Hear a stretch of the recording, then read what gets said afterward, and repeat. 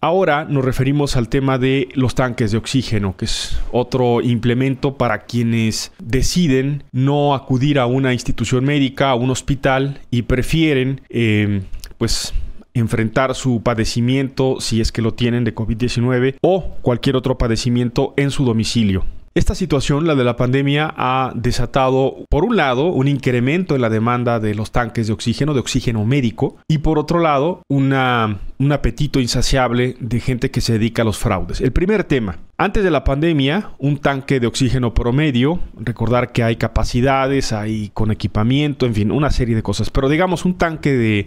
oxígeno médico promedio rondaba entre los 2.500 y los 3.000 pesos. Dos empresas en México se dedican a esto, o lo producen, Infra y Praxair. Son las dos únicas productoras de oxígeno médico en México. Sin embargo, a partir y durante la pandemia, los precios promedio de los tanques de oxígeno en México van de los 6.500 y hasta los 10.000 pesos, dependiendo el sitio, dependiendo el portal, dependiendo la plataforma de comercio electrónico, y claro, también las ofertas que a través de redes sociales, unas buenas, otras no, se están haciendo. Y primero le comparto que cuestionado sobre este tema, el titular de Profeco, Ricardo Sheffield, dijo que las empresas que venden tanques de oxígeno en México efectivamente elevaron su precio y que la respuesta que dieron las empresas es que hay una alta demanda y por esa razón tuvieron que subir eh, los precios. Peso a ello, la Profeco dijo no puede sancionarlas por esa, por esa razón. Eh, es la postura de la Profeco respecto a los precios que hay actualmente en el mercado de los tanques de oxígeno. Ahora bien, lamentablemente, esta alta demanda también ha llevado a otro fenómeno. Y es que muchas personas pues encuentran en las redes sociales o buscan en las redes sociales alternativas más económicas, publican solicitudes de si alguien encuentra o tiene o conoce a alguien que le pueda rentar o prestar o arrendar de alguna manera un tanque de oxígeno y los delincuentes y defraudadores han aprovechado esto para publicar eh, anuncios falsos. Eh, son normalmente pues delincuentes que se dedican a extorsionar, a, defraudar, perdón, no extorsionar, a defraudar. Eh, se plagian las fotografías y los videos incluso los comentarios de supuestos clientes que están agradecidos y que están satisfechos con el supuesto servicio que ofrecen, lo publican en sus redes sociales, principalmente en Facebook, y con esto se publicitan. Eh, se están multiplicando en todo el país las demandas y las quejas de gente que pues ya se quedó sin dinero, sin tanque de oxígeno, ya fueron defraudados, no hay forma de localizar a estas personas sin escrúpulos, pero el punto es que los están timando,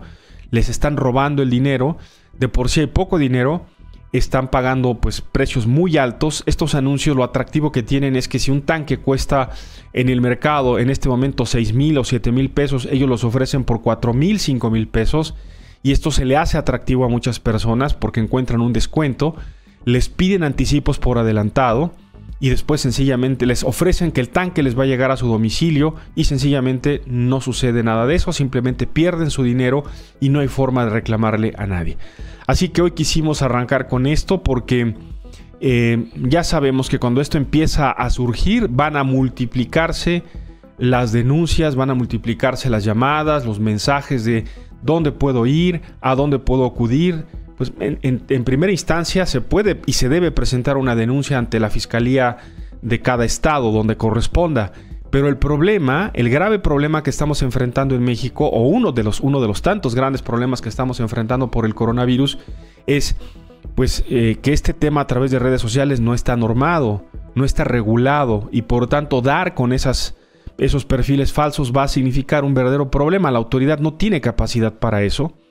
Eh, prácticamente pueden darse las personas defraudadas pues por defraudadas. Ya perdieron el dinero y eh, sirva esto, esta experiencia lamentable, de advertencia para todas las personas que en este momento pudieran estar a la búsqueda y la necesidad de un tanque de oxígeno o de algún suplemento, tengan mucho cuidado. No paguen nada por anticipado si no tienen la certeza de que la persona o la empresa, supuesta empresa, realmente existe, realmente tiene un registro, realmente tiene una dirección, la dirección es comprobable, en fin, todo lo que pueda comprobarse antes de pagar absolutamente nada y no verse en este tipo de problemas lamentablemente.